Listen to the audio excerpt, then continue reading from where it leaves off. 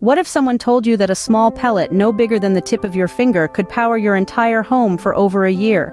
Seems incredible, right? Well, welcome to the world of nuclear energy. Nuclear energy comes from the nucleus, or core, of an atom.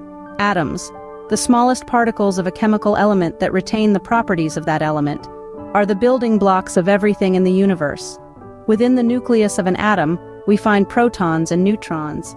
But it's when we split this nucleus, a process known as nuclear fission, that the real magic happens.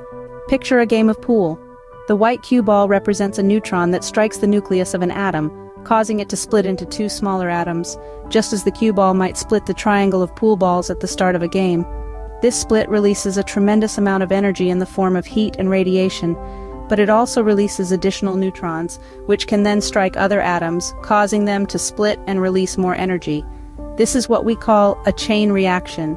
Now where does this process happen? It takes place in a nuclear reactor, a structure designed to contain and control this chain reaction safely. The heat generated from fission boils water to create steam, which spins a turbine connected to a generator, producing electricity. This is, in essence, how nuclear power plants work. Nuclear energy comes with its fair share of pros and cons. On the plus side, it's a reliable source of power that doesn't depend on the weather or time of day. It's also low in greenhouse gas emissions, making it a cleaner option compared to fossil fuels. On the downside, it produces radioactive waste that must be carefully managed and stored for thousands of years.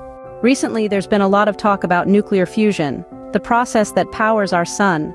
Unlike fission, fusion combines light atoms, typically hydrogen, to form heavier ones, releasing energy in the process. Although fusion doesn't produce high-level radioactive waste and carries less risk of accidents, it's still very much in the experimental stage. Yet, if we can tame this process, it could provide a practically limitless clean source of power. In summary, nuclear energy, derived from the process of nuclear fission, offers a powerful and reliable source of electricity. It presents a lower carbon alternative to fossil fuels, but it also poses challenges, primarily in managing radioactive waste.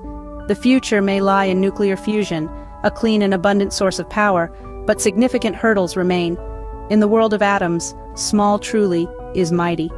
From a tiny pellet of nuclear fuel, we can generate a significant amount of power, but with it comes a responsibility to manage it safely and effectively. This is the fascinating world of nuclear energy,